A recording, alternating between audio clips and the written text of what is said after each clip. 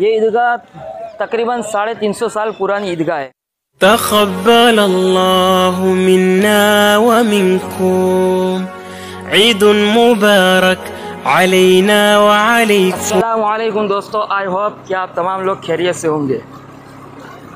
आज खुशी का मौका है अल्लाह तबारक ताला ने हमें खुशी का मौका इनायत फरमाया है तो हम पर फ़र्ज़ बनता है कि हम खुशी मनाएं लेकिन शरीयत की हद में रहकर हम खुशी मनाएँ। तो आज हम एक छोटा सा व्लॉग शूट करने वाले हैं। जिस जगह पर हम नमाज़ पढ़ते हैं, ईदगाह, बहुत ऐतिहासिक जगह है हिस्टोरिकल प्लेस है तो उस पर हम वीडियो शूट करने वाले हैं। और, वो ईदगाह किसने तामीर करवाई थी तो वो पूरी जानकारी मैं आप लोगों के साथ शेयर करने की कोशिश करूँगा। और साथ साथ में ईद का जो मंज़र रहता है, वो मंज़र भी आपको बताने की कोशिश करूँगा। तो चलिए ईदगाह की ओर चलते हैं। अभी तकरीबन, सवा सात या साढ़े सात बजे और वहाँ पर नमाज़ ईदगाह में आठ बजे की है। तो इंशाल्लाह हम नमाज़ से पहले पहुँच जाएँगे, उससे पहले हम वीडियो शूट कर लेंगे और ईदगाह का इतिहास भी आपको बताएँगे कि इसने तामीर करवाई थी। तो चलिए ईदगाह की ओर चलते।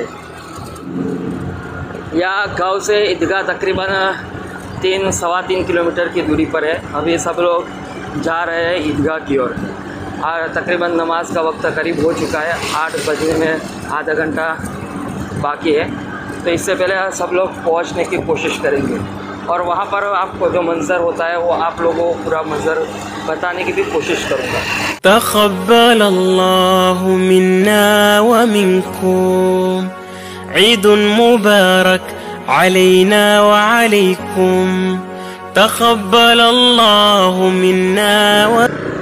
हम लोग वडनगर शहर के हद में दाखिल हो चुके हैं वडनगर शहर और इस तरफ थोड़ा जंगल की ओर ईदगाह है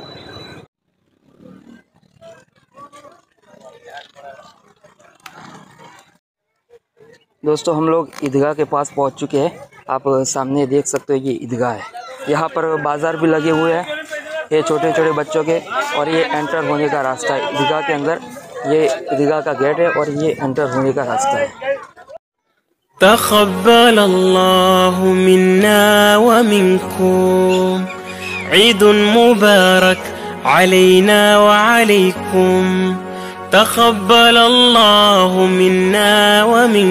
अब ईद की नमाज़ ख़त्म हो चुकी है अब पब्लिक यहाँ से ईद की नमाज़ पढ़ के जा रही है।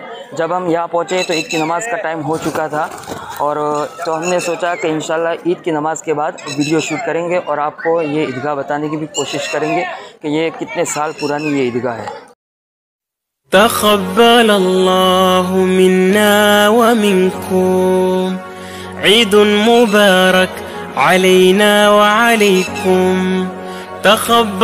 ईदगाह तकरीबन साढ़े तीन सौ साल पुरानी ईदगाह है और ये मुग़लों के दौरे हुकूमत में इस ईदगाह को तामीर किया गया था। जब मौलीपुर गाँव में मस्जिद तामीर करने का हुक्म दिया था मुग़लों ने जब मुग़लों ने यहाँ पर वडनगर शहर में हुकूमत की थी तो उस वक्त इस ईदगाह को तामीर किया गया था।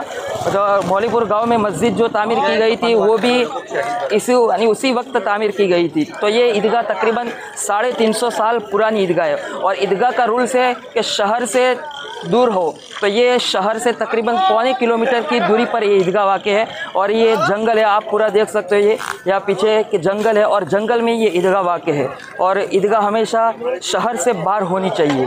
तो इंशाल्लाह आपको अंदर से भी आपको वो ईदगाह बताने की भी कोशिश करूँगा। यहाँ सब लोग नमाज़ पढ़ के अपने अपने घरों की ओर रवाना हो चुके हैं। अब ये ईदगाह खाली हो चुके हैं और यह इस ईदगाह में साल में दो ही मरतबा नमाज़ होती है, ईद अज़हा और ईद फितर की। तो ये पूरी ईदगाह है। इससे पहले मैंने आपको पूरा इतिहास आपको बता दिया। आप देख सकते हो, ये सामने आपको मेहराब नज़र आएगा। ये सामने आपको मेहराब नज़र आएगा, उसके पास में मेंबर है। तो वहाँ पर जो काम हुआ है, मेहराब और मेंबर में, ये नया काम है। और ये बाकी साइड में जो जितना काम हुआ है, ये सब पुराना काम है। आपको करीब से बताऊँगा। कि जो यहाँ पर इमाम साहब खड़े होकर नमाज़ पढ़ाते हैं और यहाँ मेंबर है मेंबर है, यहाँ पर खुतबा दिया जाता है और ये मेहराब है। तो ये जो मेहराब में जो काम आपको नज़र आ रहा है, ये नया काम है, वरना साइड में जितना भी काम हुआ है, ये सब पुराना काम है। यहाँ पर मौलीपुर गाँव और वडनगर शहर के लोग यहाँ पर नमाज़ अदा करते हैं और पीछे के हिस्से में आपको पूरा जंगल नज़र आएगा। आप देख सकते हो पूरा। चलिए हम ईदगाह से बाहर आ चुके हैं और आप पूरा मंज़र देख सकते हो ईदगाह के बाहर का कब पब्लिक अपने अपने घरों की ओर रवाना हो चुकी है तो आप ये पूरा मार्केट लगा हुआ है और यहाँ पर बाहर के हिस्से में बच्चों के खिलौने का मार्केट लगा हुआ है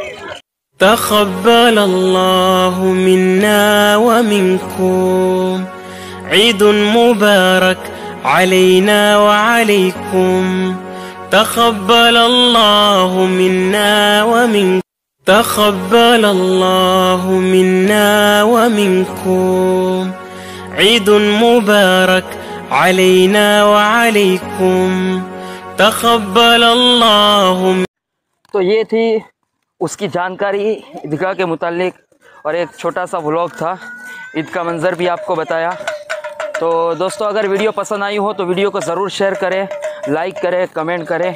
और अगर चैनल पर नए हो तो चैनल को सब्सक्राइब करें बेल आइकन पर क्लिक करें ताकि इस तरह की लेटेस्ट अपडेट और इंटरेस्टिंग मालूम आप तक पहुँच सके। तो चलिए दोस्तों इन अपनी नेक्स्ट वीडियो में दूसरे टॉपिक के साथ मिलते हैं। तब तक के लिए अस्सलाम वालेकुम वरहमतुल्लाहि